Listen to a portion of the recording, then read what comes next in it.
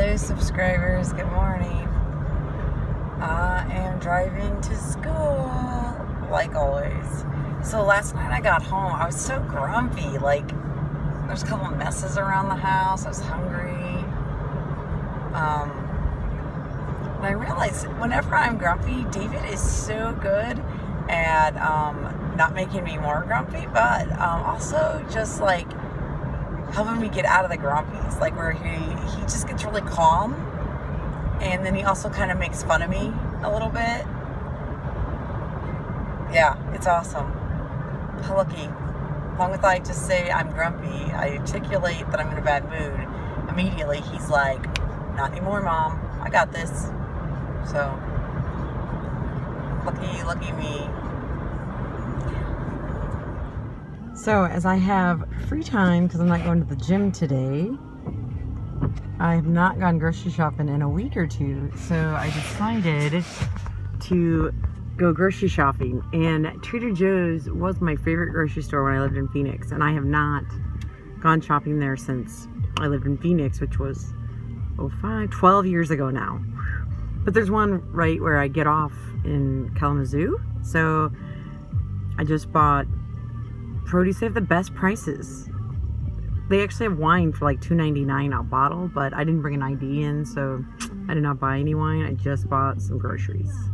But I, the store is like just an amazing store. It's so comfortable and friendly and open and fresh and clean, and they have good prices. So everyone should shop at Trader Joe's. I should get paid for these commercials I make heading back to Elkhart. Today, I went to the grocery store because I had spare time, and then I, I just went to class, uh, school and studied all day. And one, one of my classmates was there already, another one came like an hour later, another one came a little after that. So um, we mostly discussed contracts, which is the class we had today, but then we also discussed some constitutional law stuff today we did contracts, the topic was on um, damages, so like the money you get, compensatory or restitution. Um, of course, like I looked over the slides and I created a formula that you just plug in the numbers and bam, you've got the amount of time. And it's super simple. So I wrote it down for everybody and it was like, yay, finally, finally there's something that I get. I get well and easy. And the dude that does constitutional law that knows that scroll, he's like, I will help you with that, you help me with this, and I'm like, deal. So I don't know why I'm going to law school when I clearly just love math. I can just do math all the time. I loved math in high school. The reason I don't actually do math is because I haven't done it in so long that I don't remember all the like I where I was at previously. I'm not there anymore. So It's crazy the the contracts law class, like I just get it. So like it just fits in my head. And even though I'm completely going to law school to um, change law, like criminal justice law, to, to address the the history of uh, racism and oppression within our legal system to help address change that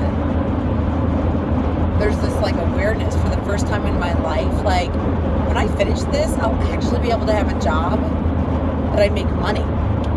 Like I've been pretty much poor my whole life, and I'm not poor working at CCJ, but I'm just over the poverty line, like just barely. So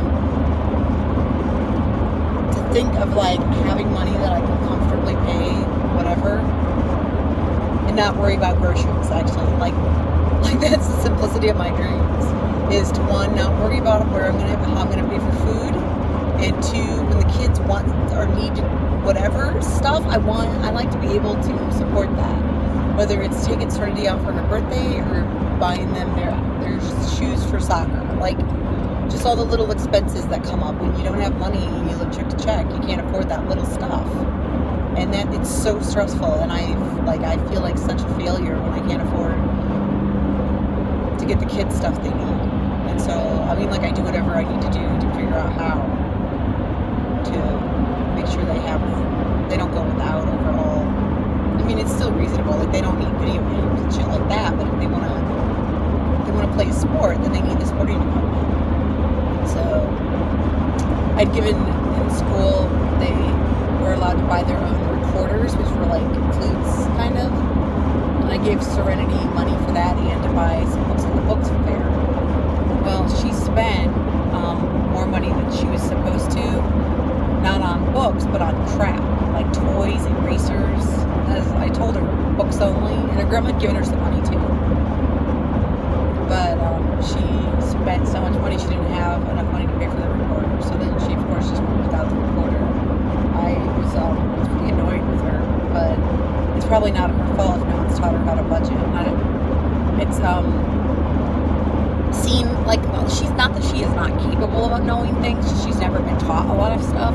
And so it makes me often um, these sense of like um, pride in david that he knows and can navigate these various things like budgets and money. Like when he gets money he doesn't need to go waste it immediately on a bunch of shit crap. Instead he saves it until he like wants something often big. And he might buy us some crap too. Like i mean he definitely loves to get pizza delivered and pay for that himself. But soon as he gets money, he's not buying pizzas. Like he, I think he, he does well at kind of balancing big expenditures and budgeting to get those, as well as like enjoying some small things too. So it's neat to see that he knows that stuff. It's just like the the organization and the time he takes in putting stuff away. And Serenity's never been taught that. So she finishes something and she just leaves these messes behind her. She's never actually been taught to clean up after herself. So um, I appreciate where David is at, and I am happy that Serenity's issue is not an inability to achieve responsibility, just a lack of being taught it. So, well, I'll let you know how the rest of my afternoon goes.